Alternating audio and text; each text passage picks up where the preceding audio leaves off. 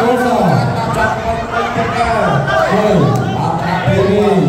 ដល់ហើយលោកថាថាលោកថារត់តាមអត់លើពីពីខ្លួនប្រាំពីប្រាំបីអរគុណបន្តតាមគោលការណ៍សំខាន់របស់